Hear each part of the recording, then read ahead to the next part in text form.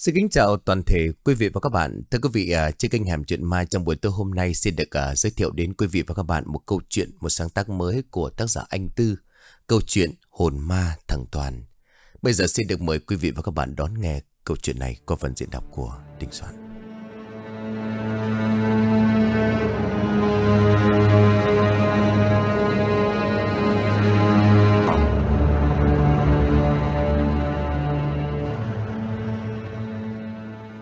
Giữa buổi trưa nắng giáo, Trong căn nhà nhỏ ở cuối làng Bắc, Lúc này đang có khá đông người tụ tập. Ở hai bên tường rào có mấy ngọn cờ tang, Kèm theo đó là tiếng kèn lễ, Tiếng đàn bầu vang lên để thiểu não.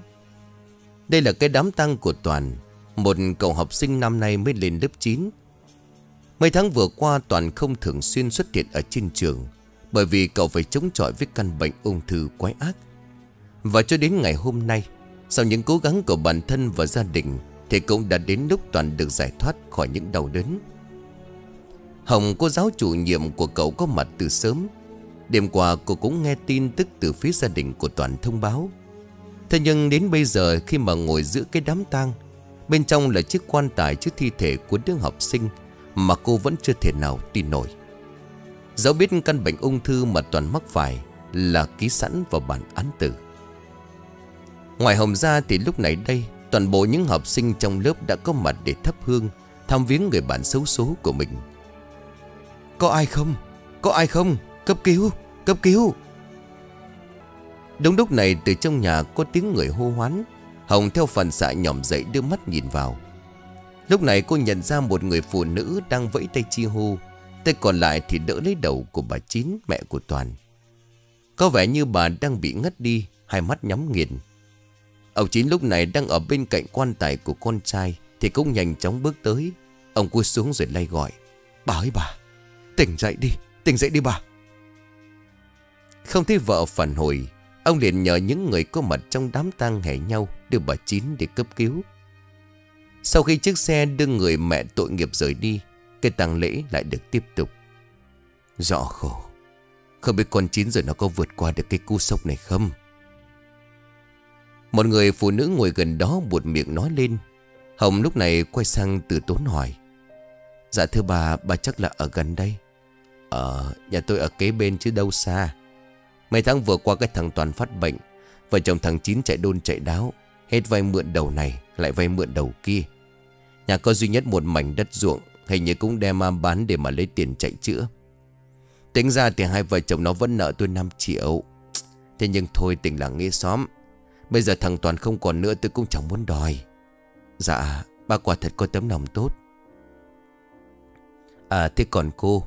Hình như lúc nãy à, tôi nghe người ta giới thiệu cô là cô giáo của thằng bé đó hả? Dạ vâng.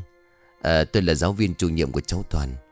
Ở trên lớp học lực tuy chỉ thuộc loại khá không có nổi bật lắm Nhưng bù lại nó thường xuyên giúp đỡ bạn bè. Cũng như là trong à, những cái phong trào luôn là người đi đầu Cho nên ai cũng quý mến. Ông trời nghĩ ra thì cũng bất công quá cô giáo nhỉ. Đám người xấu xa tội phạm này kia Thì lúc nào cũng sống nhơn nhở đó. Nếu có một cái điều ước tôi ước cho những kẻ xấu Phải thế mạng cho những cái trường hợp như vậy. Tuy nhiên, cái ước muốn của người phụ nữ này đã hết sức hoang đường. Quay trở lại với việc chính, Hồng thấy đám người đi viếng bên trong đã vơi đi. Thế là cô đứng lên thúc giục đám học sinh. Mấy đứa đi theo cô, Lần lượt vật thắp hương cho bạn Toàn nhé Đám học sinh vâng dạ đứng lên bước theo. Ông Chín khi thấy cô thì cũng vội vàng chấp hai tay lại. Chào cô Hồng. Tôi thấy cô ngồi ở ngoài kia từ ban nãy, Nhưng mà trong này neo người quá không ra đó chào hỏi được. Dạ không sao. Anh đừng có câu nệ. Em đại diện cho lớp cũng như là trường đến để chia buồn cùng gia đình. Một lát nữa khi kết thúc giờ học, Chắc những giáo viên và học sinh khác cũng sẽ tới. Vâng ạ. Ông Chín gật đầu đưa cái nén hương đã châm lửa sẵn cho cô. Hồng cầm lấy nó đứng đối diện với cái bản hương án đang nghỉ ngút khói. Trong tấm di ảnh nó hình như được phóng ra từ một tấm ảnh gia đình. Cho nên trong nụ cười của Toàn vui vẻ và hồn nhiên lắm. Thắp hương xong, Hồng đặt hai cái bì thư đựng tiền phúng điếu. Bì thư đầu tiên là của cá nhân cô, còn bì thư thứ hai là của tập thể những giáo viên. Phía quý lớp thì Hồng bảo đứa lớp trưởng không cần dùng tiền mặt, mà chỉ trích ra một khoản để mua vòng hoa rồi đem đến. Sau khi mọi thứ xong xuôi, Hồng chào ông Chiến rồi cùng với mấy đứa học sinh ra về. Đến hôm chôn cất thằng Toàn Thì cô cũng có mặt thêm lần nữa. Tuy chưa chồng con, Nhưng chứng kiến cảnh sinh ly từ biệt này, Cô cũng thấy trong lòng của mình nôn nao thương cảm. Gần một tháng sau, Ai đó? Em Ánh đây à? Vào đi cửa không khóa đâu. Vâng ạ. Người tên Ánh vừa nói vừa đẩy cửa bước vào. Cô cũng là giáo viên toán Nhưng chỉ dạy bộ môn, Chứ không được giao chủ nhiệm lớp nào cả. Lúc nãy đây, Ánh sách theo cái tập đựng hồ sơ trông khá dày, Đặt nó xuống mặt bàn. Chị Hồng, Giáo án của hai tuần tiếp theo đây à? Trời đất ơi, soạn giáo án gì mà nhiều vậy? Cô lười đúng không? Dạ không. Giờ cuối tuần này và tuần sau em bận, Cho nên không có thời gian em soạn một lần. Ờ cho lại đi chơi với người yêu chứ gì? Yêu với trả đương Em chia tay cả mấy tháng rồi. Ờ sao lại chia tay? Đừng có nhắc tới nữa em không muốn. Ờ Vậy thì cuối tuần cô đi đâu? Em đi lễ với mẹ. Lễ gì? Nói ra thì dài dòng lắm, Nhưng mà có lẽ chắc chị cũng biết đấy. Càng nói thì Hồng lại càng thêm mơ hồ. Cô nói gì tôi chả hiểu, Đừng úp mở nữa, nói toạc đi xem thế nào. Dạ vậy thì em nói. Chị còn nhớ cái chuyện của thằng Toàn Đưa học sinh ngay trong lớp của chị chủ nhiệm không? Nhớ. Hồng gật đầu, nhưng trong đầu lại xuất hiện những luồng hồi ức Về cái ngày đến dự đám tang ngày hôm ấy. Nhưng mà nó mất rồi, Sao lại nhắc tới? Em không muốn đâu, Nhưng mà thằng Toàn nó chưa siêu thoát đâu chị ạ. Lâu lâu nó vẫn hiện hồn về phá rối cuộc sống của mọi người. Cái gì? Đừng có đùa dẫn với chuyện này chứ không hay đâu. Em đâu có đùa đâu. Ánh mắt của ánh hết sức nghiêm trọng, Nó làm cho Hồng khựng lại. Với biểu cảm này thì chắc chắn ánh không phải là đùa giỡn Hồng nhíu mày rồi hỏi, Cô nói sao? Kể đầu đuôi tư nghe nào. Chị cũng biết là nhà em gần nhà thằng Toàn, Suốt cả tháng nay em thỉnh thoảng vẫn nghe được câu chuyện không hay trong căn nhà ấy. Nhưng mà em cũng chả tin. Cho đến mấy hôm trước em có việc liên hoan với mấy thầy cô rồi đi về khuya. Vừa mới chạy xe ngang qua nhà thằng Toàn, Em thấy ở bên nhà đang à, thuê thầy chùa về cúng. Cũng chẳng có gì nếu như mà ánh mắt của em không được nhìn vào tấm kính chiếu hậu. Chị biết gì không? Thằng Toàn nó nó đang ngồi ở yên sau của em. Em sợ quá, may mà tay lái vẫn còn vững. Em chạy về đến nhà em khóc lớn gào tên gọi mẹ.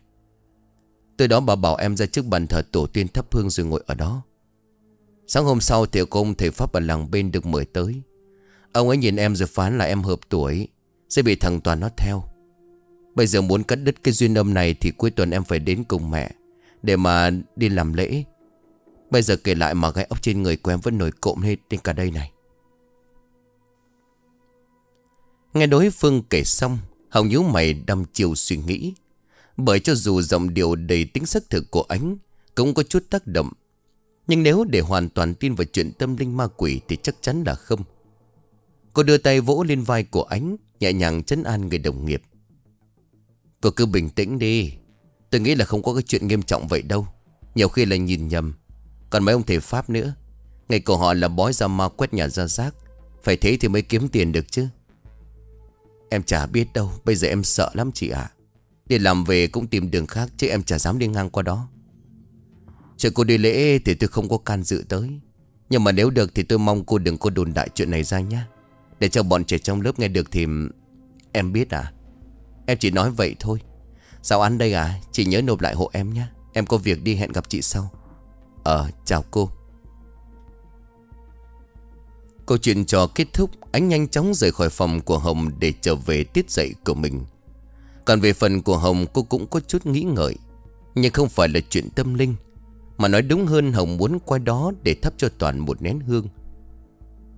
Nói là làm xế chiều ngày hôm ấy, Sau tiết dạy của mình, Hồng lên xe chạy thẳng đến nhà của Toàn. Đến nơi cô ngừng xe và nhận ra Người trong nhà hình như đã đi đâu cả rồi Chiếc cổng sắt một cái ổ khóa to đùng nằm án ngữ hầu không còn cách nào khác ngoài việc đứng nhón người qua hàng rào nhìn vào bên trong Ai đó? Ai mà dòm ngó nhà tôi đây? Một giọng nói vang lên làm cho Hồng giật mình Cô quay ra đằng sau thì nhận ra là ông Chín bố của Toàn Ngồi ở yên sau là bà Chín vợ của ông Ủa, cô giáo Hồng phải không? Ông Chín bây giờ cũng nhận ra cô nên nhuền miệng cười, Một nụ cười đầy thân thiện. Dạ vâng ạ, là em. Chào cô Hồng, cô sang chơi à? Dạ em có tí việc đi qua Nhà tê toàn nên em ghé vào thắp hương à Mời cô về nhà chơi. Tôi mới, em, chào mẹ của thằng Toàn lên trạm xá bệnh viện. Cô đứng ở đây lâu chưa? Dạ không lâu à Em vừa mới tới thôi. Mà chị Chín, chị bị gì vậy? Cô không có gì nghiêm trọng, Bệnh huyết áp đi mà. Cánh cổng được ông Chín mở khóa đẩy ra. Còn bà Chín thì cũng thân thiện đưa bàn tay gầy gò, Nổi đầy gân xanh của mình kéo cô vào trong nhà. Nhìn chung thì không gian trong nhà đã khác nhiều so với tang lễ ngày hôm trước. Bộ bàn ghế kệ tủ được kê lại. Còn cái bàn thờ của Toàn thì ở trong góc nhà. Bên trên bày biện ra bánh trái. Vòng hương tỏa ra nghi ngút, Cộng với âm thanh từ cái máy tụng kinh Văng vẳng vọng lại. Nam Mô A Di Đà Phật. Việc đầu tiên mà Hồng làm tất nhiên là tiến tới cái bàn thờ. Ông Chín cũng bước theo, Rút một nén hương châm hộ cho vị khách của mình. Tôi gửi cô. Vâng ạ. Hồng dùng hai tay đón nhận lấy nén hương. Cô vái mấy cái rồi cắm nó lên cái lư nhỏ bằng sứ. Xong rồi ông Chín lại nói thêm. Mời cô ra phía bàn uống cốc nước. Hồng gần gù bước theo ông Chín. Khác với chồng của mình, bà Chín lúc này đây Vẻ mặt để mệt mỏi. Bà ngồi thất thần thở lên bằng miệng. Chị Chín à Chị không khỏe thì cứ vào trong nghỉ ngơi à Không cần ngồi ở đây đâu. Ai lại làm vậy? Cô đến thăm nhà tôi phải ngồi tiếp chuyện chứ. Cậu Hồng nói đúng đó em mà Em vào trong nằm nghỉ đi, Một lát nữa đợi cháu Chín ăn rồi uống thuốc. Cũng phải để cho hai người kia nói thêm vài lần nữa, Bà Chín mới đành gật đầu nghe theo. Sau khi dìu vợ vào trong Ông Chín trở ra ngoài. Cô thông cảm nha Dạo gần đây à, tình hình sức khỏe vợ tôi Nó không được ổn cho lắm. Dạ không sao đâu em hiểu à. Cái này người ta gọi là tâm bệnh. Vâng. À, Thế cô dạo này khỏe cả chứ? Công việc ở trường thuận lợi hay không? Dạ mọi chuyện vẫn ổn anh à Đúng lúc này thì từ bên ngoài có tiếng người gọi. Chín ơi Chín! Ông Chín nheo cầm mắt rồi nhanh chóng đứng dậy chạy ra. Một lát sau, ông trở vào với một cái túi đựng thịt cá Và mấy loại nhu yếu phẩm khác. Tôi bận đưa bà nhà đi khám, Cho nên nhờ người hàng xóm đi chợ hộ. Phải khó khăn lắm mới nhờ được đấy. Chứ dân chung quanh đây cứ e sợ đồn đại nhiều chuyện. Thành thử ra là tôi cũng muốn nhờ vả, Ai cũng thấy ngại.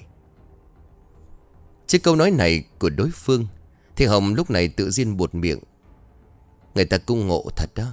Có gì đâu mà cứ đồn đại linh tinh. Cái thời buổi nào rồi mà còn Nếu mà người ta đồn đúng thì sao? À, Anh nói vậy là sao à Ông Chín thở dài rồi gật đầu. Tôi biết người ta đồn con trai tôi thành ma Hiện hồn về phá mọi người trong cái làng này. Vậy anh Ông Chín gật đầu xác nhận. Đúng. Tôi không giấu gì cô Thằng bé nó về thật cô à? Cái gì à? Hồng có chút cựng lại Bởi lời xác nhận từ chính người trong gia đình thế này, Thì quả là lạ. Nhưng cô cũng rất nhanh chóng hỏi. Anh có thấy không? Hay chỉ là nghe người ta đồn? Cô nghĩ tôi có thấy không? Trước đó tôi từng suýt nữa gây gỗ với một người hàng xóm về cái chuyện này. Nhưng mà cho đến tận khi tôi chứng kiến thì Âu Chín đưa mắt nhìn sang bàn thờ của con trai rồi hồi tưởng lại. Và một đêm của mấy ngày sau khi chôn cất thằng bé, đang nằm thiêu thiêu thì tôi thấy có lạnh sống lưng. Trời lúc đó còn đang có mưa. Đang định bước ra khép cửa sổ lại, thì đột nhiên có bàn tay chìa ra nắm chặt cổ tay của tôi. Không những vậy còn có cả tiếng gọi. Bố ơi, còn lạnh lắm bố ơi. Rõ ràng lắm. Tôi thấy thằng Toàn nó đứng ngay trước mặt. Cả người của nó trắng bạch Cặp mắt đỏ ngầu nó cứ đứng như vậy rồi biến mất chỉ trong trước mắt. Lần đầu tiên trong cuộc đời tôi mới chứng kiến một cách rõ ràng sự tồn tại của phong hồn người chết. Nhưng ngày sau thì tần xuất hiện lên của thằng bé càng lúc càng nhiều. Ngay cả vợ tôi cũng thường xuyên thấy ai đó đi lại làng vàng ở trong nhà.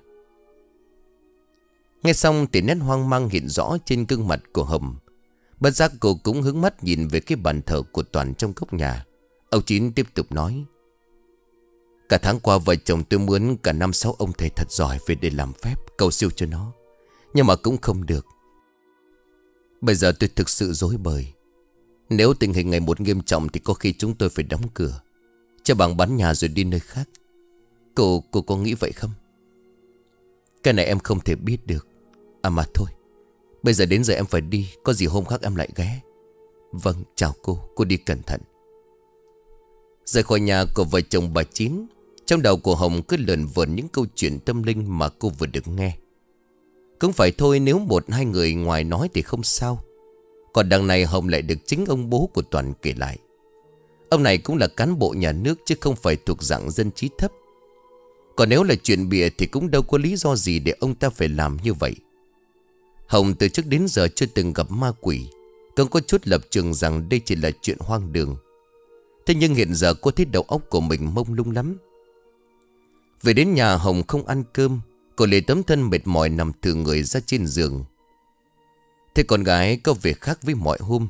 Bà chúc mẹ của cô pha ngay một cốc nước chanh bước vào. Bà thì thầm rồi hỏi. Hồng à Con có bị sao không? Ốm à? Dạ không ạ. Thế ở trường có chuyện gì sao? Dạ cũng không. Vậy thì sao trông mày cứ như cái xác không hồn vậy? Có chuyện gì nói cho mẹ nghe? Hồng thở dài, Đánh ánh mắt của mình nhìn về phía của mẹ. Mẹ ơi, Mẹ có tin trên đời này có ma không mẹ? Cái gì? Mẹ lại định bày cái trò gì nữa vậy con? Con hỏi thật đấy. Sao? Nói mẹ nghe nào. Sao lại hỏi cái chuyện này? Hồng thở dài rồi thuật lại toàn bộ câu chuyện của đứa học sinh tên Toàn. Nghe đến đâu thì bà Trúc mắt tròn mắt dẹt tới đó. Hồng kể xong bà liền chép miệng. Mẹ tin rằng thế giới tâm linh có thật. Và những người đã chết yểu bất đắc kỳ tử như cái đứa học trò của mày. Nhiều khi à, nó còn thành quỷ được đấy. Mẹ sau này đừng có ghé tới đó, kẻo oan ra đấy con à. Con biết rồi. Thôi con nằm nghỉ một chút, mẹ ra ngoài đi. Ờ... Nhưng mà nhớ lời tao dặn đó Dạ con biết rồi Đợi cho bà Trúc đi khỏi Hồng uống mấy hớp nước chanh Rồi cũng nhanh chóng chìm vào trong giấc ngủ Lúc mơ màng cô thấy hình ảnh về Toàn đứng học trò xấu số Nhưng chủ yếu đây là những hình ảnh lúc cậu còn sống Học tập ở trên lớp. Sáng thức dậy thứ đầu tiên mà Hồng cảm nhận được là cơn đau ở trong cổ họng của mình. Cô nhăn nhó chống tay ngồi dậy khỏi giường. Chưa hết hai bên thấy giường bắt đầu có cảm giác đau nhức xây sầm. Chết rồi, mình ốm mất rồi. Không dậy nổi Hồng đành phải thiêu thảo cất tiếng gọi. Mẹ ơi, mẹ! Có chuyện gì đó? Mẹ lấy hộ con cái nhiệt kế. Sao lại lấy nhiệt kế? Hình như con bị ốm rồi mẹ. Đâu đâu, để ta xem nào. Vừa nói bà Trúc vừa đưa bàn tay của mình đặt lên chán của con. Gần như ngay lập tức bà rụt lại. Trời đất ơi nóng quá. Mày ngồi yên đó. Nói đến đây thì bà Trúc nhanh chóng bước ra ngoài. Một lát sau bà quay trở lại với cái thau nước cộng chiếc khăn mặt. Nằm xuống đi con. Hồng giờ đây cũng chỉ biết nghe theo lời của mẹ Sau khi đắp cái khăn ướt lên chán con gái, Bà Trúc lấy kẹp nhiệt độ vào nách của cô Đến khi đo xong, bà liền thẳng thốt, Sốt thật rồi này Tiếp đến, bà mở cái tủ thuốc trong nhà lấy ra một viên hạ sốt cho con gái. Uống xong viên thuốc, Hồng chỉ kịp nhờ mẹ của mình gọi điện lên trường thông báo xin cho cô nghỉ. Rồi cứ như vậy tiếp tục chìm vào trong giấc ngủ mê man. Đến lúc tỉnh dậy thì đã quá trưa. Hồng nhận ra bà Trúc đang ngồi kế bên. Mẹ ơi, mẹ. Mày tỉnh rồi hả con? Thế trong người thế nào? Con đỡ mệt rồi mẹ ạ. Chỉ có ngồi dậy để mẹ ra ngoài hâm lại nồi cháo Ăn xong uống thêm liều thuốc là khỏi đấy Vâng à À mẹ đã gọi điện xin phép cho con chưa Cái con này Đau ốm còn tham công tiếc việc Sẵn đây ta cũng nói luôn Năm nay cũng 30 rồi đấy Chẳng còn trẻ trung gì đâu Nhà thì có mỗi hai mẹ con. Mà nhìn mày cũng cao giáo trắng trẻo, Lại là người con học. Vừa mới đến bây giờ một mảnh tình vất vãnh không có. Bây giờ ta còn chăm được, Nhưng thêm vài năm nữa khi tao già yếu nhưng cái lúc như vậy ai chăm cho mày? Thật ra thì cái vấn đề hối thúc lập gia đình Không phải lần đầu tiên Hồng được nghe Mẹ của mình đề cập tới. Thế nhưng biết làm sao bây giờ, Cô chẳng có chút cảm xúc nào với việc yêu đương. Thế nhưng Hồng cũng ý thức được sớm muộn gì Cô cũng phải làm tròn trách nhiệm Để cho mẹ của mình yên lòng. Trong lúc bà Trúc ra ngoài lấy cháo và thuốc, Hồng mở điện thoại. Ngoài những tin nhắn hỏi thăm từ đồng nghiệp thì cũng không còn gì khác nữa. Một lát sau khi ăn hết bát cháo và uống thuốc, Hồng lại tiếp tục thiếp đi. Nhưng tưởng đâu khi mà tỉnh dậy cô sẽ khỏe hơn. Thế nhưng không, Những gì diễn ra lại ngược lại hoàn toàn. Hồng sốt cao đến mức mê sảng. Bà Trúc phải chạy ra ngoài chi hô hàng xóm Được cụ đi cấp cứu. Hồn mê trong bệnh viện đến tận sáng hôm sau, Hồng mới hồi tỉnh dậy. Chưa dừng lại ở đó, cô lờ mờ nhớ được trong lúc bản thân mi man, Cứ liên tục trông thấy bóng dáng người quen thuộc. Nhưng nhất thời không nhận được đó là ai. Chỉ thỉnh thoảng Hồng nghe tiếng gọi tên của mình, Rồi tất cả như chìm vào không gian tĩnh lặng. Ba ngày sau Hồng đã khỏe hẳn tiếp tục trở lại với công việc giảng dạy của mình. Thế nhưng rồi khi đến lớp cô nghe mấy đứa học trò của mình thông báo một cái tin động trời. Cô Hồng ơi Bà chín mẹ của thằng Toàn mất rồi. Các, các em nói gì vậy? Em ở gần nhà nó lúc sáng nay em đi học đó. Em thấy bên ấy phát tang. Sao bà ấy lại mất? Em không biết. Nhà ấy ghê lắm nên em chả dám ở lại lâu. Hồng nghe đến đây thì nhớ lại Lần gần nhất cô gặp bà Chín. Lúc ấy đúng là trông bà tiểu tụy vô cùng. Lại còn được ông Chín trở đi khám bệnh huyết áp. Có khi nào là vì chứng bệnh này? Thôi là để hết tiết. Mình tranh thủ chạy qua đó viếng bà cũng được. Nói là làm gần 11 giờ trưa thì Hồng đến nơi. Lúc này đã có khá đông người đến viếng. Trong nhà tiếng kèn trống rồi chiếc quan tài sơn đỏ nằm chiếm trệ giữa gian phòng khách. Sự quen thuộc này khiến cho Hồng có chút ám ảnh. Vì đoàn người viếng còn khá đông nên cô chưa vào vội. Thay vào đó Hồng bước tới, Ngồi ở cái bàn bên ngoài rồi chờ đợi. Và rồi không mất nhiều thời gian Để cô nghe được tiếng người ta xì xầm bàn tán. Đấy, tôi đã bảo rồi mà. Cái thằng Toàn nó về nó dắt theo mẹ của nó. Chứ làm gì đến nỗi con chín nó mất đột ngột như thế? Đúng. Tôi thấy con chín mấy hôm kia còn đi chợ đây mà. Thôi nào, Im lặng đi đừng nhắc đến cái chuyện đó. Nhưng đâu thằng Toàn nó nghe thế thì lại mệt chuyện nhiều khi nó đang đứng chung quanh đấy. Ở kìa cái bà này. Ăn vịt chả nói, Nghe gớm chết đi được. Cô bàn tán chấm dứt, Hồng kỳ thực muốn tranh luận với đám người này. Thế nhưng đây là lễ tang cho nên cô đành thôi. Ngồi đợi thêm một lát nữa thì cũng đến lượt của mình. Hồng đứng dậy bước chân vào trong nhà. Và đến nơi người Hồng trông thấy đầu tiên không ai khác, Chính là ông Chín. Tuy nhiên tình trạng hiện tại của ông thì đáng báo động lắm. Cả người của ông gầy sụp, Cả mắt lộ rõ vẻ mệt mỏi. Khỏi phải nói sau sự ra đi của cả vợ con, Thì bất cứ ai cứng rắn nhất Cũng chẳng thể bình tĩnh nổi. Chào anh Chín à Hồng nói dứt câu Thì ông Chín cũng ngước mắt lên. À chào cô. Sao cô biết Từ ngày mấy đứa học sinh nó kể? Anh Chín à? Cái chuyện này là sao vậy? Sao chị ấy lại mất? Mấy hôm trước em qua đây còn thấy chị ấy Tôi đâu biết đâu. Đêm qua bãi bảo mệt trong người. Tôi đòi đưa đi khám bác sĩ nhưng bãi không có chịu. Chống một liều thuốc theo toa của bác sĩ xong thì bãi ngủ thiếp đi. Cứ tưởng đâu là đã êm rồi anh ở gần sáng tôi thức dậy. Thế cả người cậu bãi cứng đờ, lạnh ngắt. Lúc phi công an tới khám nghiệm thì họ kết luận là bãi suy tim. Đúng lúc này từ bên ngoài có thêm một nhóm người bước tới. Đây có vẻ là họ hàng thân thiết của bà Chín ở xa mới về trong người nào người nấy mắt mũi đều sưng húp cả lên. Chưa hết họ vây lấy chiếc quan tài rồi khóc giống cả lên. Có thể nói một không khí tăng tóc đau thương đang bao trùm lên tất cả. Về phần của Hồng cô tranh thủ thắp xong nén hương, Rồi thì nhanh chân rời đi, Vì chiều nay còn phải đi làm. Từ nhà bà Chín trở về, tâm trạng của Hồng nặng nề tới mức Cô còn quên cả khóa cổng ngoài Và rút chìa khóa xe. Tuy nhiên là chuyện này đã lọt vào trong tầm mắt của bà Trúc bởi bà biết con gái của mình có tính cẩn thận. Và lại sắc mặt của Hồng cũng chẳng tốt mấy. Hồng à Mày sao thế con? Mẹ, Nhà ấy là có chuyện rồi. Nhà nào? Thế nhà thằng Toàn học sinh của con. Chuyện gì? Mẹ của thằng bé bị mất. Sao? Mất bao giờ? Hồng thở dài thuật lại cái chết của bà Chín. Khỏi phải nói bà Trúc trợn mắt lên. Cái con này, Ta đã bảo rồi mà. Ai cho mày đến đó hả con? Con chỉ ghé qua thắp hương thôi mà. Hồng à Đêm trước mẹ đã nói rõ cho con. Vậy mà giờ đây mày mày không xem lời của mẹ ra gì rồi cả. Con không có ý đó. Nhưng mà mẹ đừng nghĩ nhiều như vậy. Biết bao nhiêu người đến dự tang lễ Đâu chỉ riêng con. Mày đúng là hồ đồ đích không sợ súng. Thôi mày muốn làm gì thì làm, Tao chả quan tâm đến đâu. Dứt câu thì bà Trúc quay lưng bước thẳng ra ngoài. Hồng còn lại một mình trong phòng. Lúc này đây cô không nghĩ gì về chuyện ở nhà bà Chín nữa, Vì muốn tranh thủ chút thời gian còn lại để chợp mắt. Công khá nhanh chóng giấc ngủ kéo đến làm cho tiếng ngáy khe khẽ của cô vang lên đều đặn.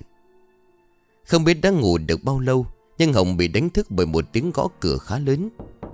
Cả mắt còn ngáy ngủ vừa hé ra, Hồng phát hiện chung quanh tối mù không có chút ánh sáng nào cả. Sao lại tối thế này? Chẳng lẽ mình đã ngủ tới tối rồi sao? Mà không đúng. Nếu tối ở bên ngoài phải có ánh đèn, Nhà mình có bao giờ tắt hết mọi thứ ánh sáng vậy đâu? Hay là mất điện? Lại hoài một lúc thì cái đèn ngủ cũng được bật lên. Thế nhưng đây có lẽ là một trong những quyết định sai lầm nhất cuộc đời của cô. Bởi dưới ánh sáng hắt ra, Hồng trông thấy một bóng người đang đứng ngay trước mặt của mình. Cánh cửa phòng được mở, Nhưng làm sao mà Hồng không hoảng hốt cho được? Bởi cái người đang đứng đây không ai khác chính là Toàn. Da rẻ trên người của cậu trắng bệch Toàn đưa tay lên chỉ thẳng vào cô. Khỏi phải nói Hồng như gần muốn khóc thét với cảnh tượng kinh hoàng này. Cô cố gắng dùng tay kéo lê thân người lùi lại đằng phía đầu giường. Nhưng chưa kịp rời mắt khỏi Toàn Thì Hồng cảm thấy lưng của mình chạm phải thứ gì đó. Thế nhưng nó mềm chứ không phải là cái phần đầu giường bằng gỗ cứng. Chưa hết còn có hơi thở lạnh lạnh phả vào sau gáy. Theo phản xạ tự nhiên cô quay sang nhìn thì hỡi ôi, Đó là bà Chín. Cương mặt của bà nó kinh dị hơn bất cứ bộ phim nào Hồng đã từng xem hoặc tưởng tượng. Đến đây thì Hồng không thể nào chịu đựng được nữa Cô rú lên một tiếng để kinh hãi. Tiếng hét vừa dứt thì Hồng như là bừng tỉnh. Tất cả những hình ảnh kinh dị vừa rồi không còn nữa. Cô nằm trên giường chung quanh là căn phòng quen thuộc. Hơn nữa từ ngoài cửa sổ, Những tia nắng vàng vọt đang chiếu thẳng vào bên trong. Chiếc đồng hồ lúc bấy giờ mới chỉ qua 12 giờ trưa một chút. Chỉ là mơ thôi. Có chuyện gì thế? Bà Trúc hoảng hốt chạy vào bên trong. Hồng Toan định nói gì đó Nhưng nhanh chóng lắc đầu rồi ú ớ đáp. Dạ không có gì đâu, Con thấy con rán. Chà bố nhà mày. Thế mà làm tao cứ tưởng có cái chuyện gì. Chưa rồi sẽ ăn cơm đi còn đi làm. Vâng ạ. Hồng gật đầu đợi cho bà Trúc rời khỏi. Cô tất hẳn nụ cười gượng gạo Để thở từng hơi đầy nặng nhọc. Giấc mơ vừa rồi quá ư là kinh khủng với một người như cô. Nhưng Hồng lại quyết định không kể cho bà Trúc nghe. Một phần vì cô nghĩ đơn thuần chỉ là một giấc mơ. Bản thân đã nghe quá nhiều chuyện kinh dị Và lời đồn thổi vô căn cứ Cho nên mới sinh ra ám ảnh như vậy. Còn lý do thứ hai là đối với người lo nghĩ nhiều như bà, chắc chắn sẽ bày ra đủ chuyện kiêng cử rồi mắng. Nằm ở trên giường thêm được một lúc cô bước xuống và nhà vệ sinh đánh răng rửa mặt. Mọi thứ sau đó có vẻ khá hơn khi trong bữa cơm. Mấy món mà bà Trúc nấu thực sự khiến cho Hồng cảm thấy lấy lại được sức lực. Suy nghĩ này quả thật có tác dụng khi Hồng nhanh chóng lấy lại được tinh thần. Cộng thêm mấy món ăn ngon mà bà Trúc chuẩn bị cho nên sau khi ăn xong, Hồng có thể bắt đầu quay trở lại với công việc thường ngày Thế nhưng lên đến trường đập vào mắt của Hồng là một cái lớp học vắng đi một nửa số học sinh trên mặt là 10 tờ giấy đơn xin nghỉ học, Mà có vẻ như cái nào cái nấy đều chẳng đủ sức thuyết phục. Chuyện gì vậy? Mới sáng đây chúng nó còn đi học bình thường, Hay là có dịch bệnh? Hồng nhìn sang đứa lớp trường rồi bảo Súng ơi, Em cho cô hỏi mấy tờ đơn xin nghỉ học của các bạn là ai đưa đến? Dạ thưa cô là của phụ huynh thằng Cường ạ. Nếu mà nghỉ học thì phụ huynh họ phải gửi giấy tờ đến chứ. Hơn nếu chục bạn mà chỉ có một người đến gửi thôi hả? Trong mấy giờ tờ còn lại là tự lăn đến đây. Ờ cái này Sao? Em có gì muốn giấu cô? Thưa cô đúng là các bạn không bị ốm. Cô biết ngay mà. Lại trốn đi chơi hay liên hoan sinh nhật gì phải không? Dạ không ạ Mà mà làm Súng nhìn một lượt chung quanh rồi tiến tới cái bàn giáo viên của Hồng rồi kể. Lúc sáng nay khi mà kết thúc tiết học cuối cùng, em của các bạn đang thu dọn sách vở để ra về. Thằng Cường nó đứng dậy, hất đổ luôn cặp sách và hộp bút của mình. Tiếp đến nó bước đến cái bàn trống ở cuối lớp ngồi vào đó rồi gục mặt. Em có tới gọi nó nhưng mà nó không đáp, nó chỉ khóc thôi. Em nói sao? Bàn nào đó? Cái bàn kia kia. Dũng vừa nói vừa chỉ tay mình về hướng cuối lớp. Hồng khựng lại khi cô nhận ra cái bàn trống này, Chính là chỗ ngồi trước kia của Toàn Sau khi cậu mất thì nó được bỏ trống cho đến tận bây giờ Chỉ chốt xong thì Dũng lại tiếp Lúc nghe tiếng khóc vang lên thì cả lớp sợ hãi bỏ chạy. Còn thằng Cường cũng ngã vật ra người co giật. May mà cái lúc ấy thầy dạy văn vẫn còn ở trong lớp. Thầy mới bế nó đưa xuống phòng y tế. Nhưng cái chuyện sau đó bọn em không biết. Mãi cho lúc tới đây, Khi mà lớp chuẩn bị đi học buổi chiều, Thì bố của thằng Cường mới lên gửi tờ đơn xin nghỉ học cho nó. Em có hỏi xem sức khỏe của bạn ấy thế nào Thì bố bạn ấy nói Là thằng Cường bị vong hồn của thằng Toàn nhập. Hiện giờ gia đình đang mời thầy về làm lễ. Ông ấy còn bảo chúng em nghiền hết đi Chứ không sẽ đến lượt mình đó. Nhưng bạn trong lớp nghe vậy sợ quá Rồi cũng lập tức viết đơn xin mà giao về. Hồng nghe đến đây thì phải nói ngỡ ngàng lắm. Lúc trưa cô dạy tiết học cuối cùng ở một lớp khác. Và xong thì cũng tranh thủ chạy đến nhà viếng tang lễ của bà Chín, Chứ không nán lại thêm chút nào. Giờ thì Hồng mới để ý, Trong gương mặt của những đứa học sinh còn lại, Cũng có những nỗi sợ hãi nhất định. Cứ muốn làm chúng hoang mang thêm nữa cô liền bảo, Thôi, Bây giờ chúng ta bắt đầu học nha. Dạ vâng ạ. Kết thúc hai tiết toán của mình, Hồng trở lại phòng của giáo viên. Đây cũng là hai tiết duy nhất của buổi chiều nay. Thế nhưng Hồng không muốn về nhà. Thay vào đó, Hồng ngồi thường người để suy nghĩ về những chuyện trước mắt. Hết cái tang lễ của bà Chín rồi đến việc mà cậu học sinh tên Dũng kể lại. Cái câu chuyện thuật nghe có vẻ hoang đường. Nhưng cô tự hiểu cái tính của cậu lớp trưởng. Dũng là người thành thật có sao nói vậy. Nên rất khó để dựng chuyện hay thêm bớt. Chị Hồng, chị Hồng ơi. Đúng lúc này có tiếng gọi vang lên làm cho Hồng giật mình. Cô cũng nhanh chóng nhận ra người vừa gọi đây là Ánh. Chào cô. Chị biết chuyện nhà bà Chín chưa? Tôi biết rồi lúc sáng có ghé qua. Trời đất ơi chị ghé qua đó làm gì Nguy hiểm lắm Sao lại nguy hiểm tôi không hiểu Chị tới đó mà không nghe ai nói gì hả Bây giờ cả làng bắc bọn em chỗ nào cũng kháo nhau. Cái chết của bà Chín là do thằng Toàn nó làm đó. Đây, Là gì nữa đây? Cô cũng đi nghe những lời đồn đoán vô căn cứ đó à? Ánh thở dài rồi lắc đầu. Không phải là em tin lời đồn, Mà đây là sự thật. Hôm trước chị có nhớ em bảo là đi đến để làm lễ không? Nhớ. Mấy hôm kia em đã đi và vừa đến nơi thì ông thầy ở đó làm lễ xong ông ấy phán. Tuy em đã thoát được nạn cái vong hồn của thằng Toàn. Nhưng mà nó không đơn giản đâu. Gia đình không tìm thầy giỏi đến cúng kiếng không siêu thoát. Sớm muộn gì nó cũng sẽ về. Và đưa những người thân của mình đi theo. Bây giờ thì lời nói của ông thầy đã ứng nghiệm rồi. Bà Chín mất trong nhà chỉ còn lại ông Chín. Nhưng mà đâu ai dám chắc thằng Toàn nó chỉ dừng lại ở bố mẹ của nó. Nên là tốt nhất mình cứ tránh. Chỉ phải nghe em để cô đến đó. Chú đồng nghiệp thân thiết em khuyên chị, Chứ em chả rảnh đi lo chuyện bao đồng đâu Nếu như bình thường Hồng sẽ tiếp tục tranh luận Thế nhưng hôm nay đã quá nhiều chuyện xảy ra Khiến cô chỉ thở dài rồi đáp Tôi biết rồi À còn nữa Hình như trong lớp chị có chuyện gì phải không Em nghe bọn học sinh nó kháo nhau ở trong căng tin Hồng đưa mắt nhìn đối phương rồi cô bắt đầu kể lại chuyện ly kỳ trong lớp như một cách để giải tỏa. Khỏi phải nói nghe xong thì ánh liền thốt lên. Đấy, em đã bảo chị mà. Chị không không tin vong hồn của thằng Toàn nó hiện lên. Kiểu này không sớm thì muộn. Cũng có người mang họa cho mà xem. Nam mô A Di Đà Phật. Cầu cho mọi chuyện tai quan nạn khỏi. Chị ông ơi, giờ chị đã tin chưa? Tin gì?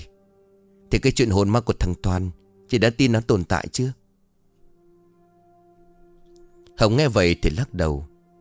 Tôi vẫn không tin. Mọi chuyện do mọi người thiêu diệt lên mà thôi. Chị đúng là cứng đầu mà Thôi em chẳng tranh luận với chị làm gì nữa Chị nhớ tránh xa cái nhà đó nhá Nói xong thì anh đứng dậy lững thững bước ra ngoài Vì đã đến giờ đi dậy. Tiếng chuông điện thoại như phá tan bầu không gian yên lặng. Hồng nhíu mày nhận ra người gọi đây là ông thầy hiệu trưởng. Dạ alo em nghe à? Cô Hồng hả? Cô chiều nay không còn tiết nào nữa phải không? Dạ em đang ngồi trong phòng chờ của giáo viên chuẩn bị về. Thế thì tôi có chuyện nhờ được không? Dạ chuyện gì à? Ờ thì cái em à, học sinh toàn của lớp cô đấy Là một lần nữa cái tên toàn được nhắc đến khiến Hồng cảm giác vô cùng bất an Dạ có chuyện gì vậy thầy? Tôi nghe nói là mẹ của em Toàn không may mắn qua đời Sáng nay cô đã đến đó viếng thăm chưa? Dạ thì em đến thăm rồi à? Vậy thì tôi làm phiền cô quay lại đó thêm lần nữa được không? Hoàn cảnh của em Toàn này có xuất hiện trên báo chí của tỉnh Bây giờ lại thêm tăng sự nữa Tôi nghĩ mình cũng nên có sự hỗ trợ Như đầu cánh nhà báo phóng viên họ kéo tới Lại gây ra những cái bê bối không đáng có. Cô hiểu ý tôi không? Dạ em hiểu. Ờ. Thế bây giờ để tôi bảo thư ký của trường chuẩn bị tiền mặt Cô nhận rồi mang đến nhá. Cái chuyện này cô làm giáo viên chủ nhiệm của thằng Toàn Cho nên đến đó là hợp lý nhất. Nhắc gia đình của em ấy cho thật kỹ rằng Cái số tiền này là của trường. Dạ vâng ạ Em hiểu rồi. Cuộc gọi kết thúc Trong Hồng lúc này chia ra hai luồng suy nghĩ. Một là cô cảm thấy cái chuyện hỗ trợ tài chính này khá tốt Đối với hoàn cảnh của gia đình Toàn. Thế nhưng luồng suy nghĩ thứ hai Là từ những cái chuyện xảy ra trong ngày hôm nay, Kèm theo câu căn dặn của ánh khiến cho cô có chút chần chừ. Thế nhưng rồi nói gì thì nói, Hồng cũng không thể lảng tránh hoặc nhờ một người khác. Thế là cô lập tức đứng dậy đi tìm người thư ký lấy tiền, Lái xe thẳng đến nhà của Toàn. Khi đến nơi lúc này tang lễ của bà Chín vẫn còn đang diễn ra. Chỉ là số người đến viếng không còn nhiều nữa. Ông Chín lúc này đang ngồi ở cái bên chiếc quan tài của vợ. Nhận ra Hồng, ông gật đầu chào. Chào cô giáo Hồng. Dạ vâng ạ. Em đi ngang qua có việc vật thắp thêm một nén hương. Trên lúc chưa em vội quá, Không trò chuyện được gì nhiều. Sẵn em gửi chút tiền phúng điếu. Thôi, cô cứ giữ đó. Tiền nong gì tôi không nhận đâu. Anh cầm lấy đi. Nghe từ là nghĩa tận, Biết anh không đến mức túng thiếu. Nhưng cái này là tấm lòng của trường, Chứ không phải của riêng em. Của em lúc sáng em gửi rồi. Vâng ạ. Thế thì tôi cảm ơn cô. Nhà cô truyền lời cảm ơn thầy hiệu trưởng với mọi người. Thắp thêm nén hương lên bàn thờ của bà Chín, Hồng cũng tiến tới phía ban thờ trong gấp Nơi thờ tự của đứa học sinh xấu số của mình. Thế nhưng rồi khi mà vừa tới nơi, Hồng cảm giác như có một luồng hơi lạnh sộc thẳng vào sống lưng của mình, Khiến cho cô khẽ khựng lại. Cô làm sao vậy? Ông Chín vừa lấy hương châm hộ vừa hỏi À dạ không sao à Hồng nở một nụ cười nhẹ, Tay đưa lên chỉnh lại mái tóc. Thắp hương xong, hai người về chỗ trước bàn gần đó để ngồi uống trà. Chắc anh mệt lắm, Trông anh tiêu tụy quá. Tôi cũng không biết nữa. Bây giờ tôi chỉ muốn hoàn thành à, tăng sự sớm nhất cho bà ấy. Xong thì mới an tâm mà ngủ được. Thế thì sao mà chịu nổi? Em thấy trên bảng cáo phó ghi tận những ba hôm mới chôn cất. Tôi có kiệt sức rồi, chết cũng có sao đâu. Coi như gặp được hai mẹ con bà ấy sớm thôi. Anh đừng nói gở vậy. Dù sao đi chăng nữa mình cũng phải sống chứ anh. Thì cũng muộn rồi. Bây giờ em phải về có tí việc, Em chào anh. Hôm nào rảnh em lại ghé qua. Cảm ơn cô. Nhưng mà nhiều khi sắp tới đây tôi sẽ dọn đi nơi khác. Chứ cái chốn này nhiều chuyện đau buồn quá, tôi chịu không có nổi. Hồng thở dài, đứt cầm mắt để ánh ngại đứng dậy. Cô tiến sang chắp tay vái mấy cái trước bàn thờ của bà Chín rồi mới ra về. Đến nhà bà Trúc hôm nay nấu một nồi lẩu hải sản khá thịnh soạn. Không biết có phải vì được ăn ngon hay không, Mà Hồng thấy tâm trạng của mình phấn chấn hẳn lên. Bà Trúc nhìn biểu hiện này thì cũng an tâm.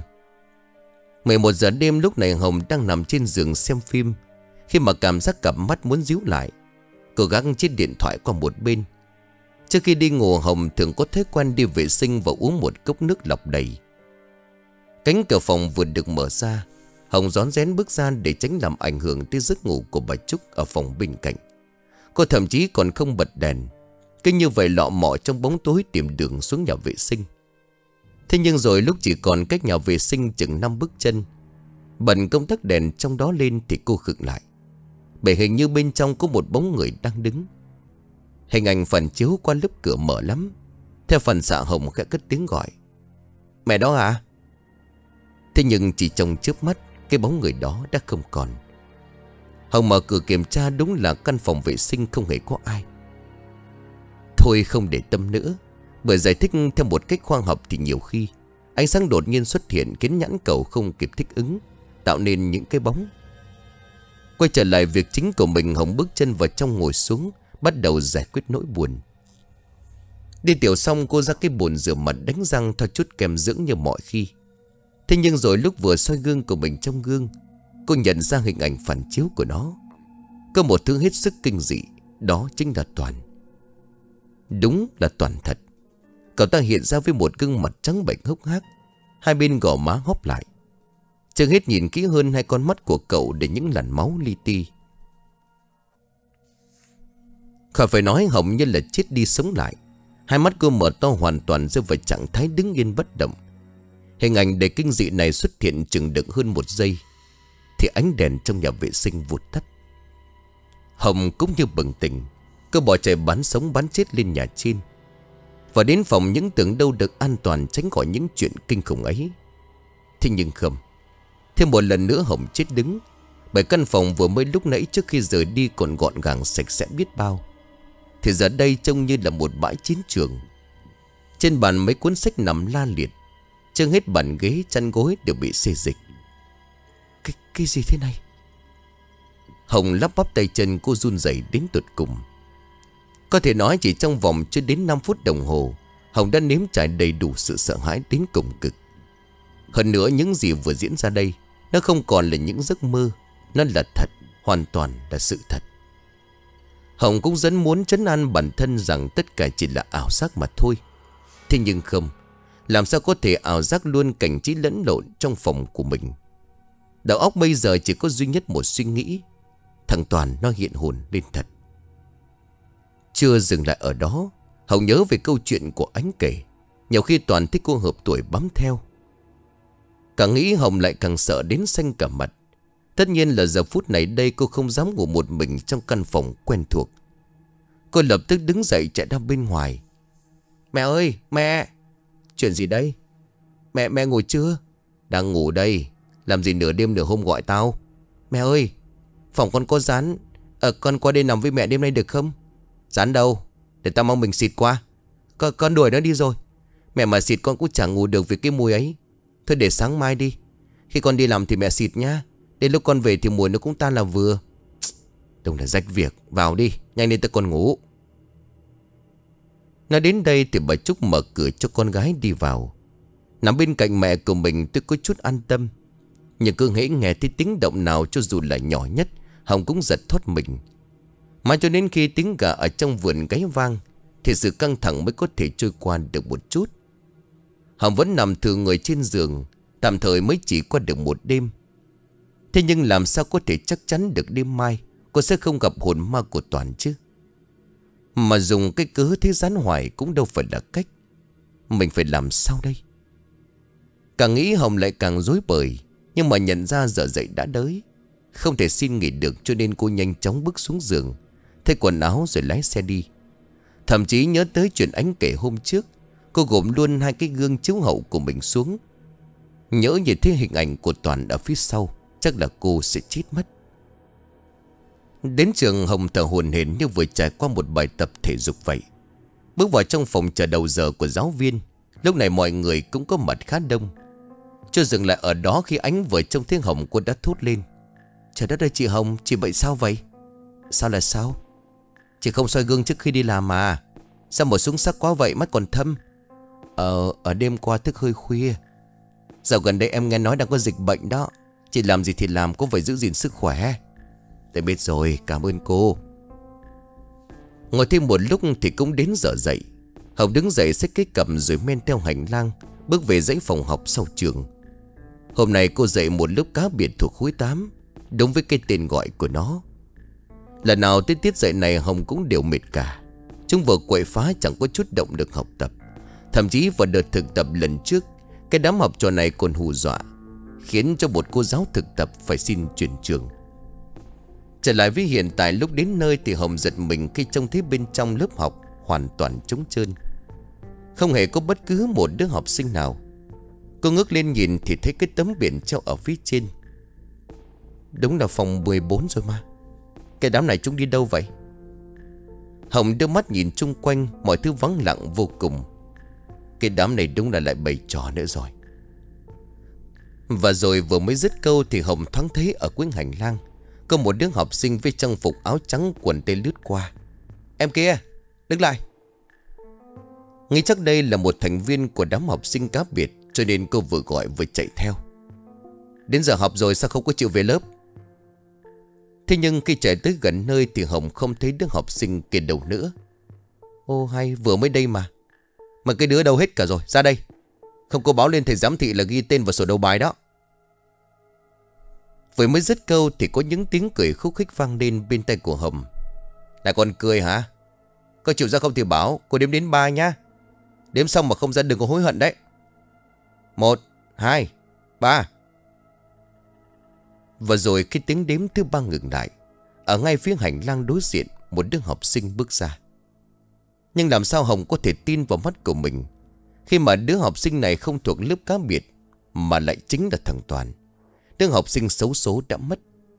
Với bộ trang phục quần áo tây sơ mi trắng, Kèm theo cái khăn quàng cổ màu đỏ, Nó đưa cặp mắt nhìn chăm chăm vào cô.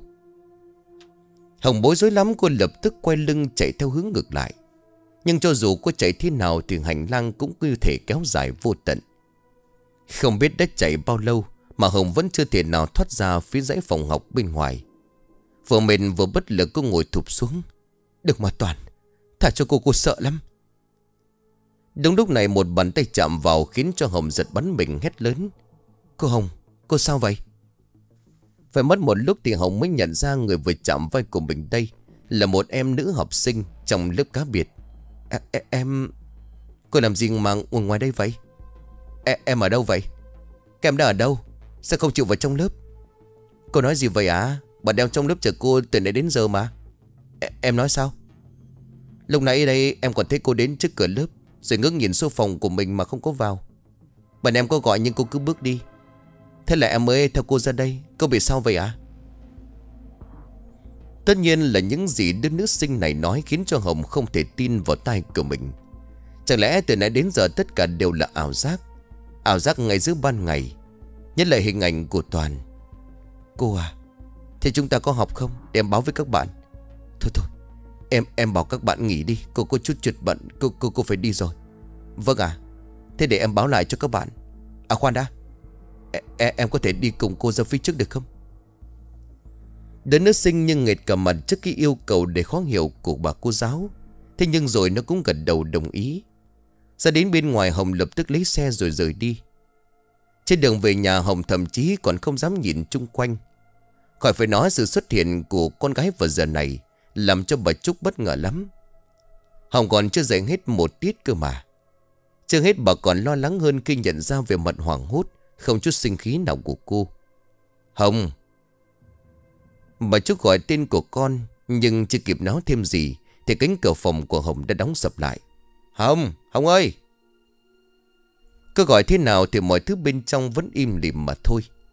Nói về Hồng cô lúc này như thể là một kẻ mất hồn. Ở bên ngoài cô có thể nghe thấy giọng của mẹ mình vang lên. Bà Trúc hỏi han liên tục nhưng Hồng không dám nói gì, Mà chỉ lắc đầu bảo là than mệt. Cái con này, Thôi nằm nghỉ đi, Một lát nấu cơm xong mẹ gọi. Vâng ạ. Ấy vậy mà đến giờ cơm trưa, Bà Trúc bày biện ra bàn xong Tới trước cửa phòng của con gái rồi gọi. Hồng ơi Hồng! Thế nhưng cho dù cô gọi to nhỏ ra sao, Thì Hồng không hề phản ứng. Lấy làm lạ bà Trúc lục tìm chìa khóa sơ cua rồi mở cửa bước vào. Khi cánh cửa phòng được mở ra, đập vào mắt của bà là một cảnh tượng khiến cho bà hết sức ngạc nhiên.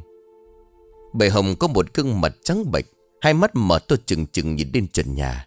Còn khôn miệng cứ mấp máy gì đó như muốn nói, Hồng ơi, Mày sao thế này con ơi? Hồng lúc này đã mất đi nhận thức, Không còn nhận ra được hay có bất cứ một phản ứng nào. Thế là không một chút chần chừ Bà Trúc hô hoán nhờ người gọi đưa con gái đi bệnh viện. Phải mất đến hơn nửa ngày, Dùng đủ mọi biện pháp sơ cứu Thì Hồng mới dần hồi tỉnh. Cô được chẩn đoán là suy nhược cơ thể, tụt canxi. Nếu đưa đến bệnh viện một một chút, Thì nhiều khi sẽ ảnh hưởng tới tính mạng.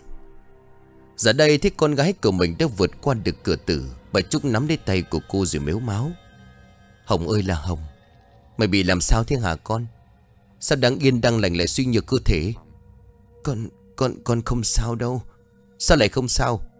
Không bệnh mà lại thành ra vậy hả con? Không, con không bị bệnh gì mà Chỉ là con Mày làm sao? Đến lúc nãy đây Hồng không thể nào giấu giếm mẹ của mình được nữa. Cô quyết định kể ra mọi thứ. Khỏi phải nói bà Trúc nghe tới đâu thì run rẩy tới đó. Trời đất ơi con. Sao mày dại dột vậy hả con? Tới đó làm gì? Mày chỉ là giáo viên chứ có phải ông to bà lớn gì đâu mà nhận trách nhiệm đó. Con Trời đất ơi, tao dặn mày rồi mà. Tiếng khóc chui chéo của bà Trúc Làm cho mọi người y tá ở gần đó chạy vào khuyên nhủ, Để không ảnh hưởng tới những người bệnh nhân khác. Một lát sau khi đã bình tĩnh được, Thì bà bảo Hồng nằm nghỉ để bà tìm cách. Hồng có hỏi thế nào thì bà cũng chẳng tiết lộ là mình đi đâu. Nhưng mà nhìn biểu hiện thì chắc là cô cũng có thể đoán được Mẹ mình sắp sửa làm gì đó. Chiều tối ngày hôm ấy, bà Trúc vẫn chưa quay trở lại. Hồng thì nằm trong phòng bệnh. Trong lúc nửa tỉnh nửa mê, Hồng liên tục thấy hình ảnh của Toàn. Cậu ta đứng nhìn cô giáo của mình với một ánh mắt chừng chừng Phải đến khi uống liều thuốc có thành phần thuốc mê Thì cô mới hoàn toàn thiếp đi. Đến lúc tỉnh dậy, Hồng lầm mờ nhận ra bà Trúc đang ngồi bên cạnh giường của mình. Hồng à Con dậy rồi đó hả? Còn đang mấp máy môi để trả lời Thì Hồng lại nghe thêm. Dạ thầy Con bé nó tỉnh rồi.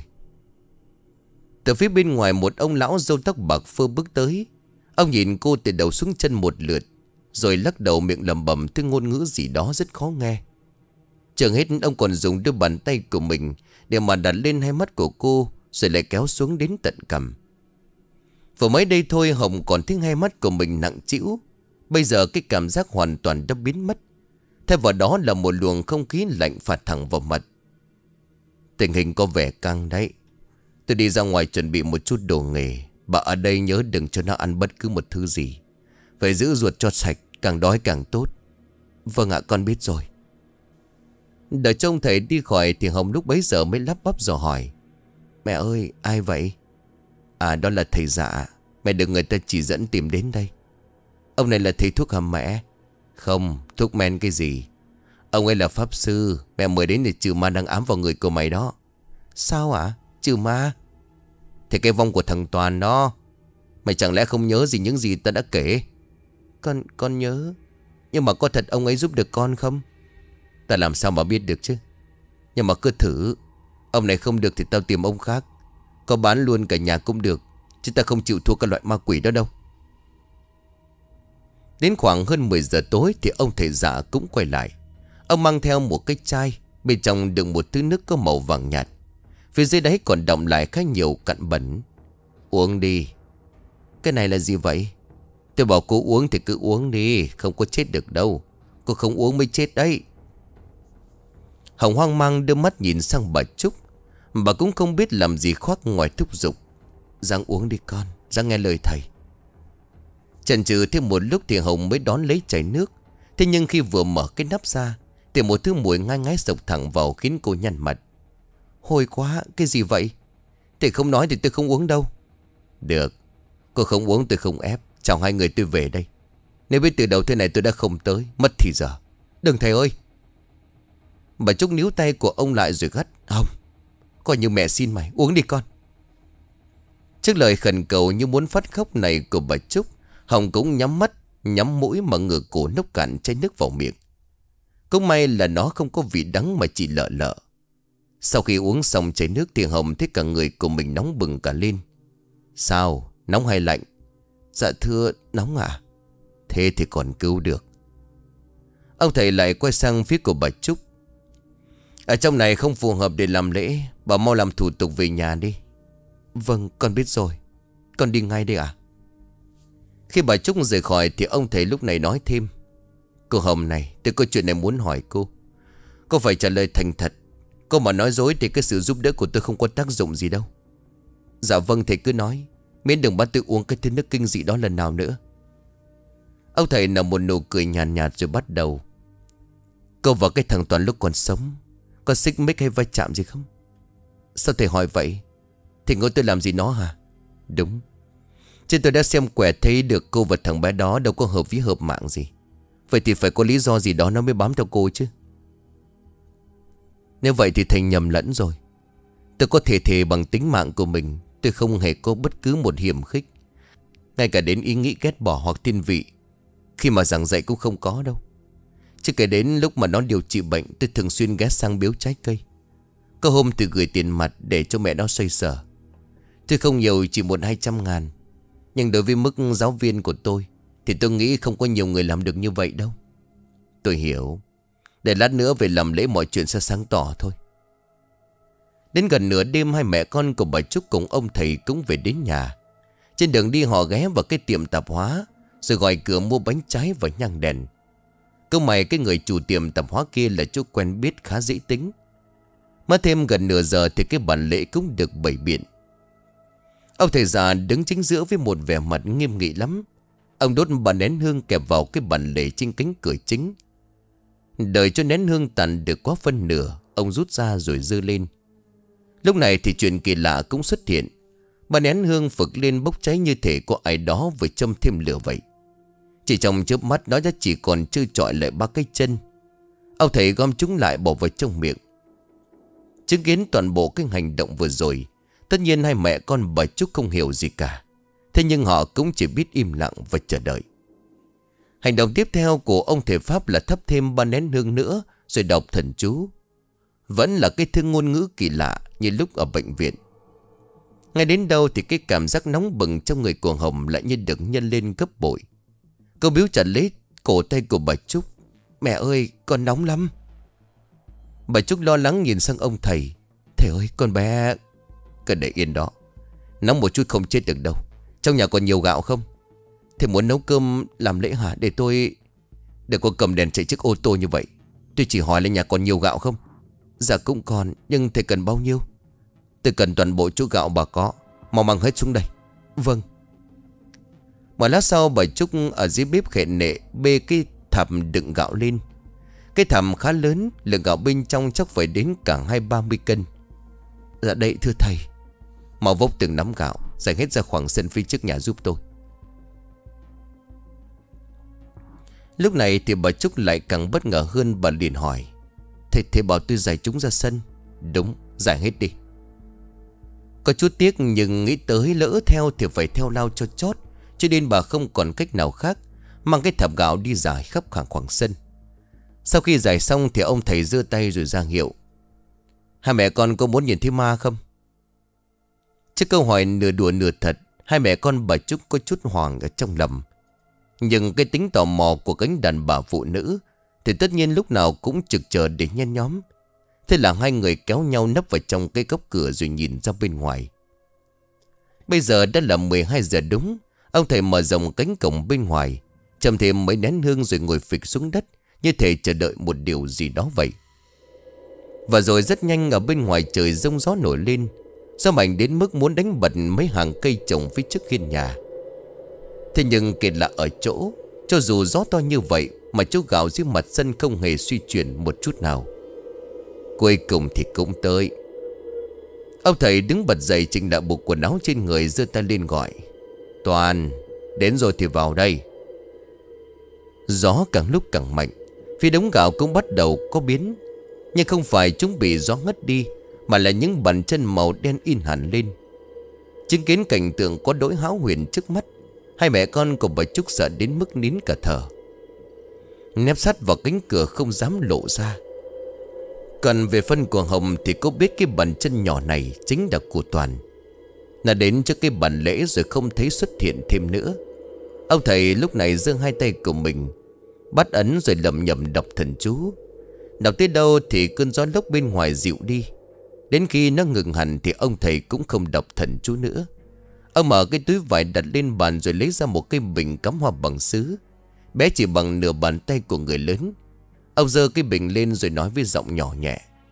Vào đây, Ở ngoài đó làm gì cho lạnh?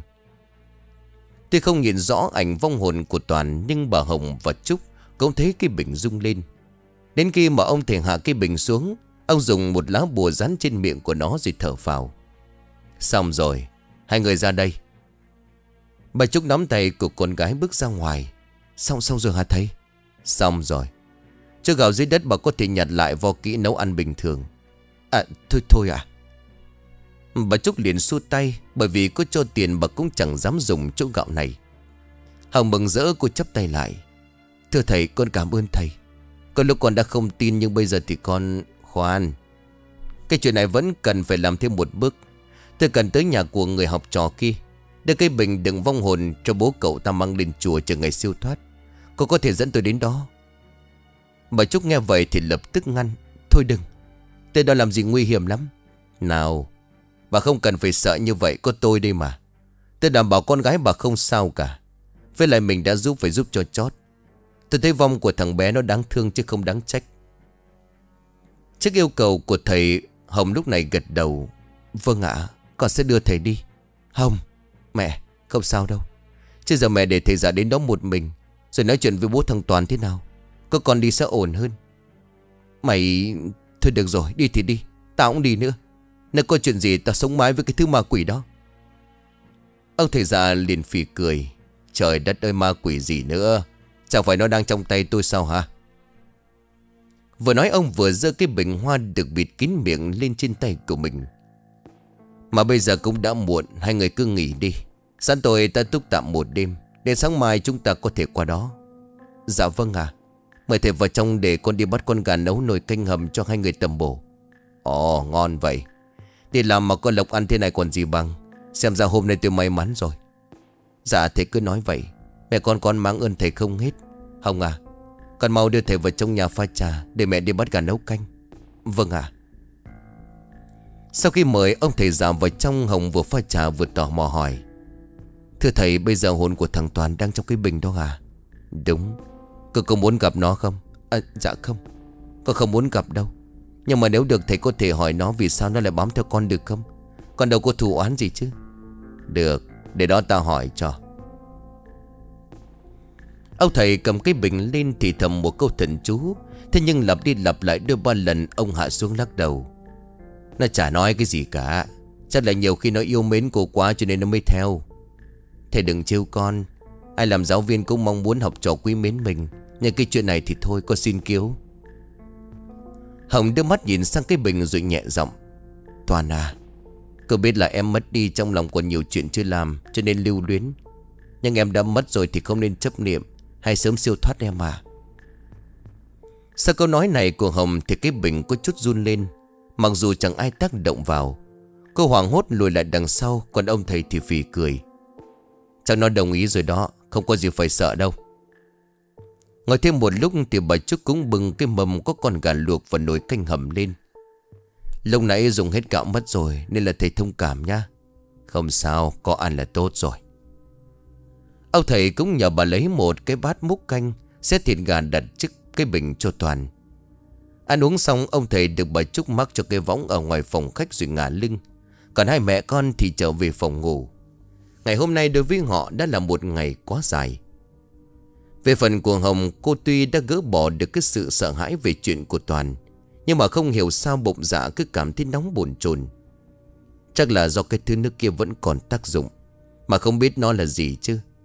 Đến giờ mình vẫn còn nhờ nhợn cái mùi kinh khủng ấy.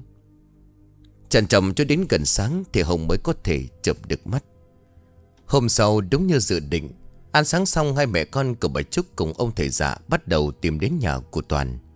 Thế nhưng rồi khi vừa đến nơi, ông thầy dạ đứng khựng lại miệng lắp bắp. Sa sao lại thế này? Cái chuyện gì vậy thầy? Nhiều quá. Ý của thầy là sao à? Hai mẹ con lùi ra bên kia đường đi. Ông khí trong nhà này có nhiều quá. Tới mức mà tôi chưa thấy căn nhà nào như vậy cả gần chục năm nay. Khi hai mẹ con của Hồng đã sang tận bên kia đường, ông thầy dạ mới hỏi thêm. Nhà này còn ai chết nữa không? Dạ thưa con là mẹ của thằng Toàn. Là nữ mất bao giờ? Dạ sau thằng bé một tháng. Thế thì không phải. Cái âm khí tích tụ nhiều như vậy ắt hẳn phải là tồn tại ít nhất nửa năm. Vậy ý thầy trong này còn có cái vong nào khác? Cứ từ từ để đó tôi tìm hiểu. Bây giờ cô Hồng Cô đi với tôi sang đó. Thầy cho tôi đi với.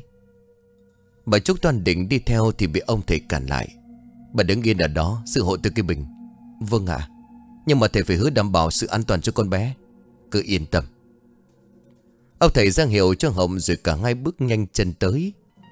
Khi chỉ cách cánh cổng mấy bước Hồng lúc bấy giờ tò mò.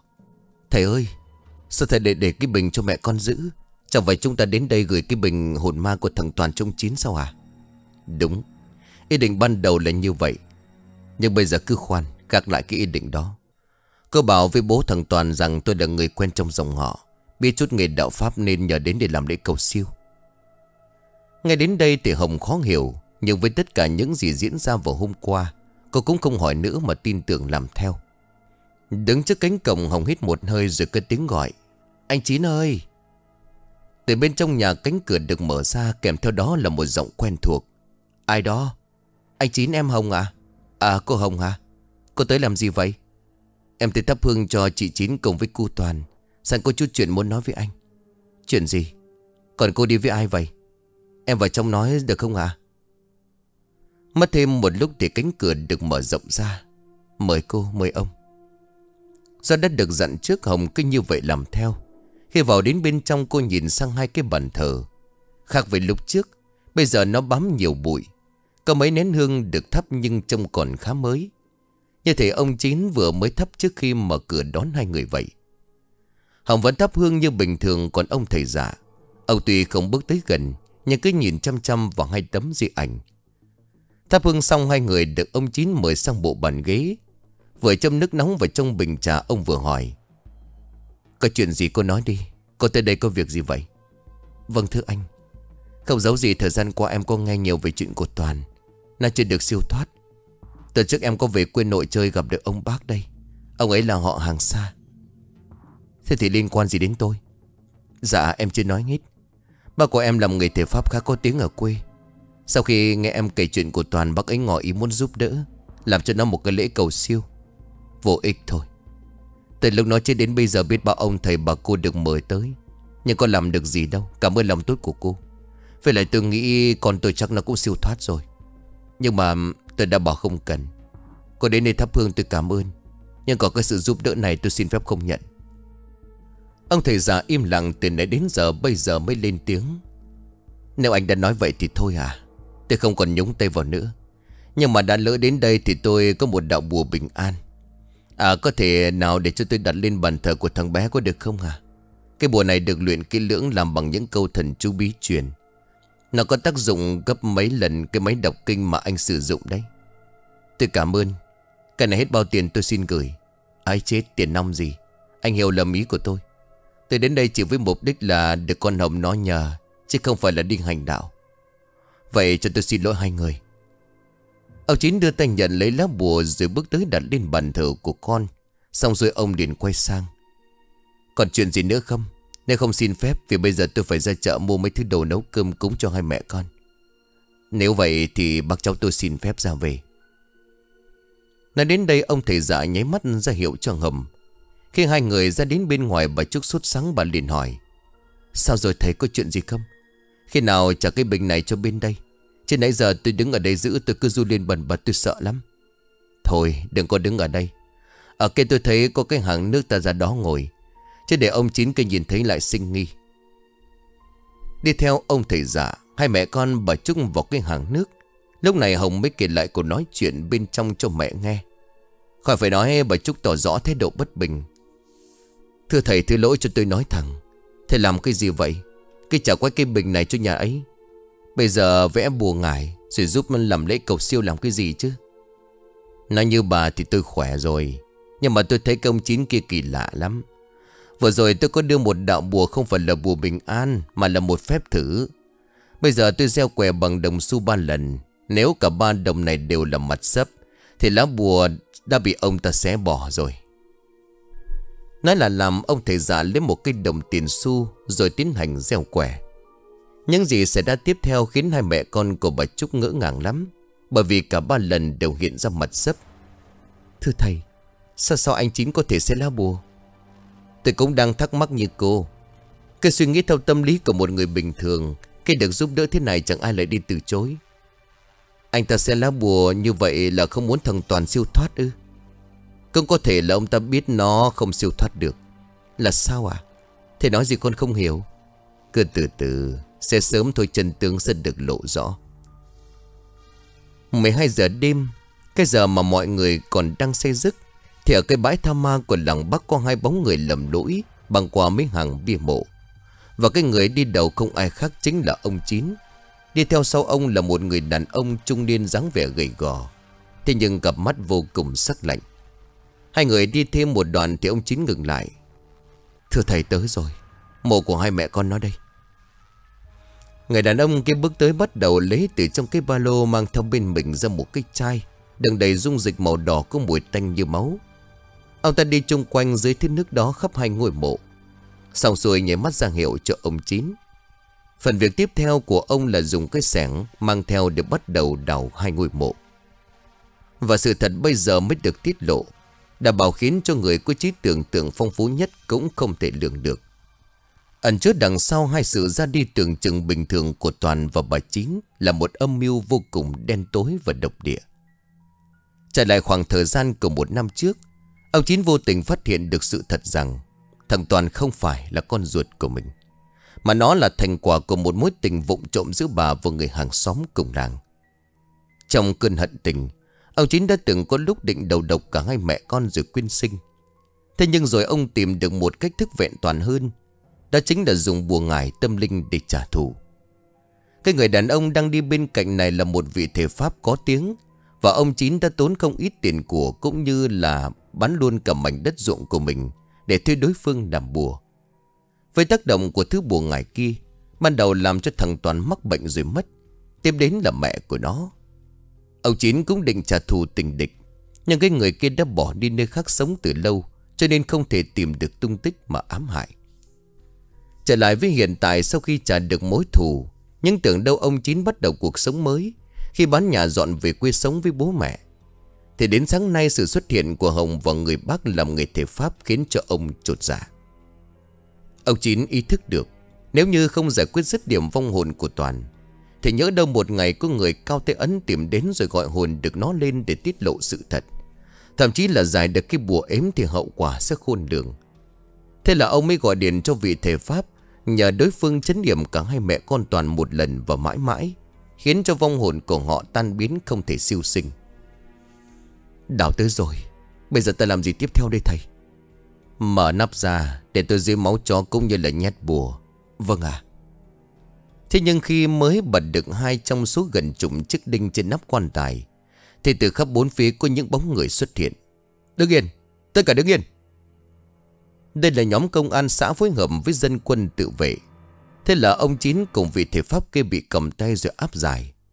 Tại đây hai người không hét răng khai nửa lời bởi ông Chín biết cái mộ đó là người trong gia đình. Công lắm thì chỉ bị phạt vì cái tội không khai báo trước, Rồi đóng phạt hành chính mà thôi. Thế nhưng còn chưa kịp đắc ý Thì ngay trong đêm ấy ở phòng tạm giam, Hai người đàn ông bất ngờ phát điên Và tự lao vào nhau cấu xé. Đến lúc cán bộ công an có mặt, Ông Chín đã bóp cổ cướp đi sinh mạng của vị thầy Pháp. Giờ thì tội trạng mới được thành lập. Tuy nhiên có vẻ ông Chín đã không còn tỉnh táo nữa. Ông cứ tự vào vào miệng của mình rồi cười lớn. Ngày hôm sau, tin tức được lan truyền trong làng Bắc Khiến mọi người bất ngờ. Chẳng ai biết được vì sao ông chính là quật mộ con trai trong đêm Rồi phát điên và giết người. Còn lúc ấy, trong khuôn viên của ngôi chùa trên thị xã, Cây bình chứa vong hồn của Toàn được đặt ở một góc gần bàn thờ Phật. Hồng cùng bà Trúc cùng ông thầy giả đứng trước đó vừa thắp hương vừa lâm dầm khấn vái. Thôi xong rồi, ta về thôi.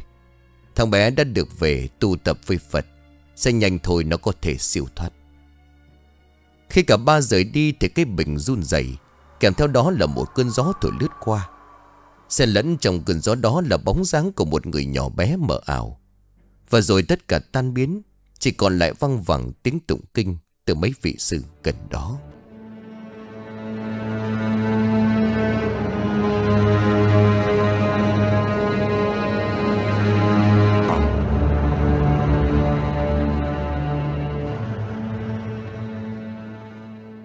Xin cảm ơn quý khán thính giả đã chú ý đón nghe. Xin kính chào, tạm biệt quý vị và xin hẹn gặp lại quý vị và các bạn trong những câu chuyện tiếp theo.